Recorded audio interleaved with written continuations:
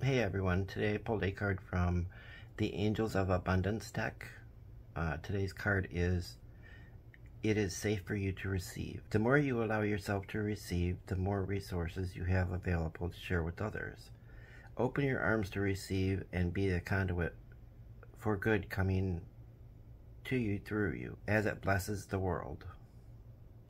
This card might resonate with somebody and it might not. If it does, please let me know. Have a good day.